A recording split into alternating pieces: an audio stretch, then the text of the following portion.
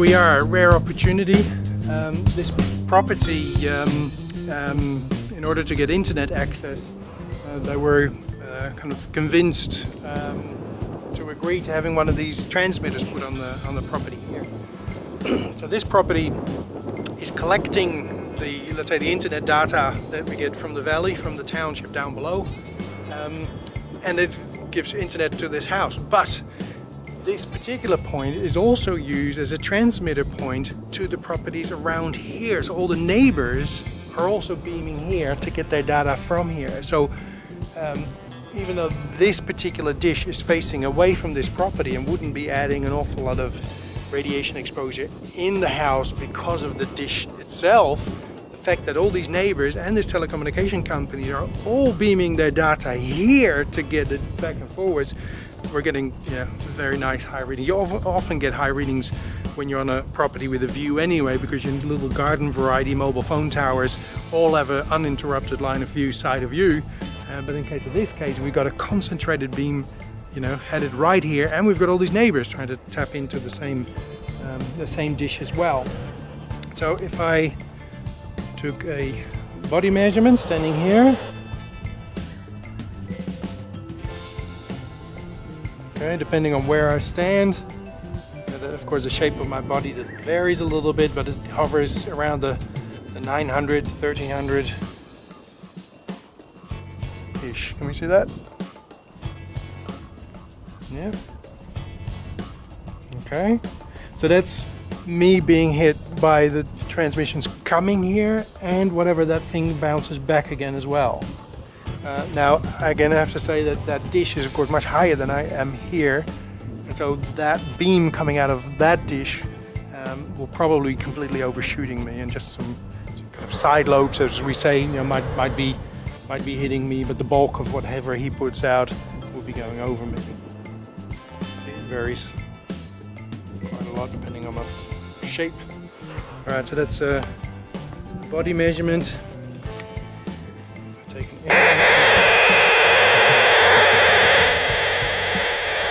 an air measurement now.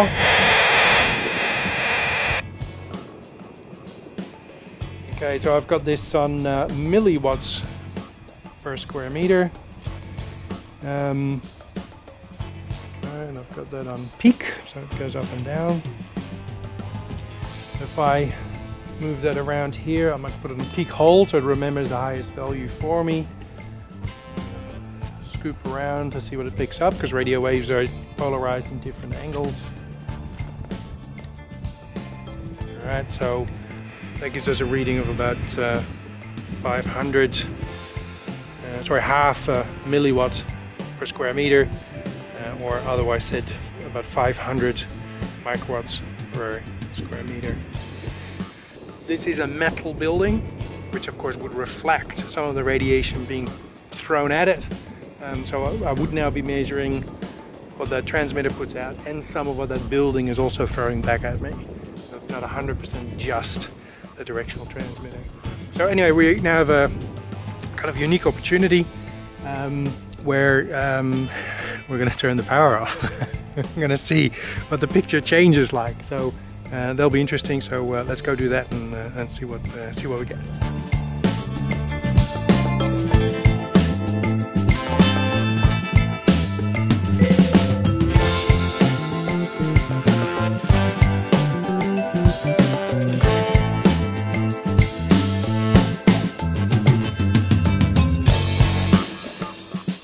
Here I am sitting in a office which is inside a metal building, a little uh, barn building, let's say.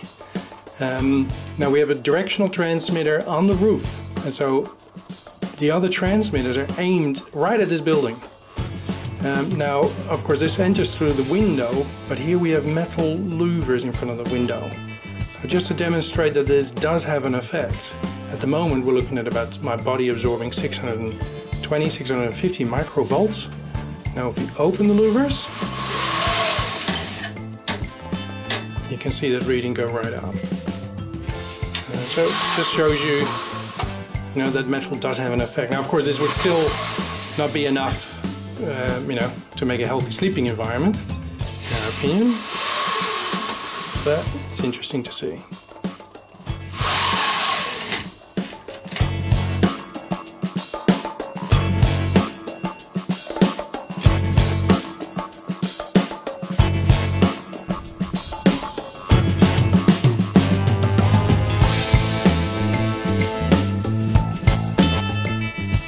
Okay, here we are, rare opportunity.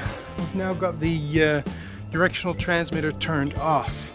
Um, so what sort of values that does, does that give us?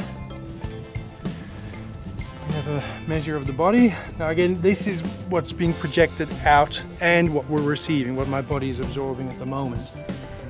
At this time, at about 900, 950, standing where I am now. Okay, so let's have a measure what the air tells us. So this measures the air. I've got this on peak hold, so it'll get stuck on whatever the highest value is.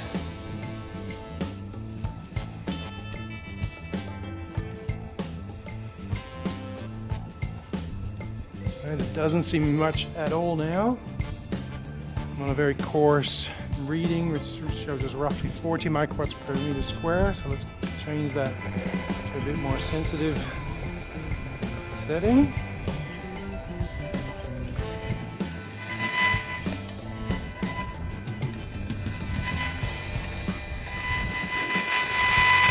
At 51 microwatts per meter square.